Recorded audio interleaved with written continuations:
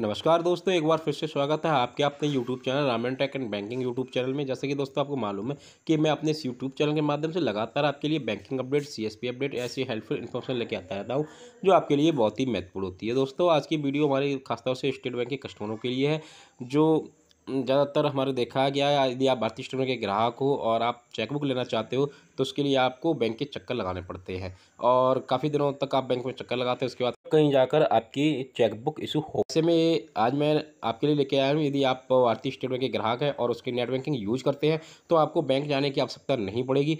आप बिना बैंक जाए घर बैठे अपनी जो है, अपनी नेट बैंकिंग के ज़रिए से ही अपनी चेकबुक इशू कर सकते हैं।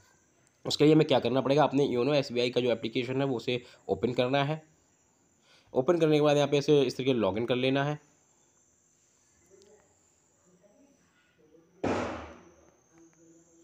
यहाँ पर हमने एम पिन डाल के अपना यहाँ पे इसे लॉगिन कर लिया है। लॉगिन करने के बाद जैसा कि आपको मालूम है, इस तरीके से योनो एस का होम पेज सामने खुल के आ जाता है। इसके बाद हमें थोड़ा सा से स्क्रॉल डाउन करना है। स्क्रॉल डाउन करने के बाद यहाँ पे सर्विस रिक्वेस्ट का ऑप्शन दिया हुआ है। सर्विस रिक्वेस्ट पे क्लिक कर देना है। क्लिक करने के बाद यहाँ पे चला जाना है चेक जो नीचे के सारे, काफ़ी सारे ऑप्शन दे रखे हैं। नीचे के दिया है रिक्वेस्ट चेक स्टॉप का। यहाँ पे चेक्स वाले पे क्लिक कर देंगे।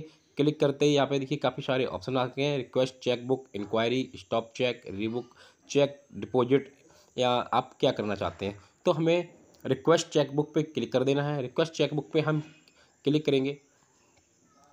तो यहाँ से हमारा सबसे पहले इसका नेक्स्ट पे सामने आ जाएगा। यहाँ पर हमारा अकाउंट नंबर सेलेक्ट करने के लिए मांगेगा। यहाँ पर हम अपना अकाउंट नंबर सेलेक्ट कर देंगे। अकाउंट नंबर सेलेक्ट करने के बाद यहाँ पर हमारा जो है मांगेगा कि आपको कितने पेज की चेकबुक आपको चाहिए। पच्चीस पेज पचास पेज सौ पेज तो मैं यहाँ पे अपने वहाँ पे सिलेक्ट कर लेता हूँ। और इसके बाद यहाँ पे जो कॉलम बने हुए हैं, यहाँ पे टिक मार देते हैं। टिक करने के बाद यहाँ पे इसे नेक्स्ट कर देंगे। नेक्स्ट करने के बाद यहाँ पर आपका डिलीवरी एड्रेस पूछा जाएगा। एड्रेस इसमें तीन तरीके के एड्रेस दिए होते हैं। नंबर एक रजिस्टर्ड एड्रेस मतलब कि जो आपके अकाउंट पर रजिस्टर पड़ा हुआ उस पर जाएगा। लास्ट डिस्पैच एड्रेस या आपने यदि पहले से ही आपने ऑलरेडी मंगा रखी है चेकबुक और उसमें आपने कोई दूसरा अपना एड्रेस दिया था तो उस एड्रेस पे पहुँच जाएगा तीसरा आपका न्यू एड्रेस।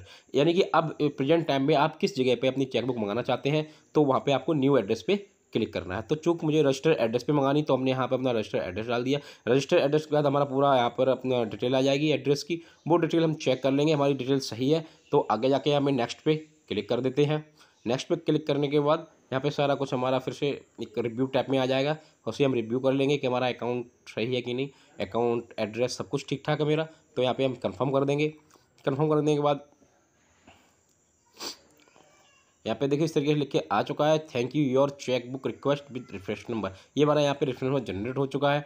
और इसको यहाँ पे अगर हो, चाहोगे तो आप इसका स्क्रीनशॉट ले लो, जिससे कि अगर आगे को कोई दिक्कत होती है तो आप इसको ट्रैक भी कर सकते हो कि हमारी चेकबुक कहाँ पे है। तो यहाँ पे हम इसे ओके कर देंगे। ओके, करने के बाद इस तरीके से हमारी चेकबुक रिक्वेस्ट एक्सेप्ट हो चुकी है और 10 से 15 दिन के बीच में हमारी चेकबुक हमारे रजिस्टर एड्रेस पर आ जाएगी। इस तरीके से आप बड़ी आसानी तरीके से बिना बैंक जाए चेकबुक अपने घर बैठे मंगा सकते हो। आशा करता हूँ दोस्तों आपको वीडियो पसंद आई होगी। अगर आपको वीडियो पसंद आई तो लाइक करें कमेंट करें और ज़्यादा से ज़्यादा इस वीडियो को शेयर करें। Thanks for watch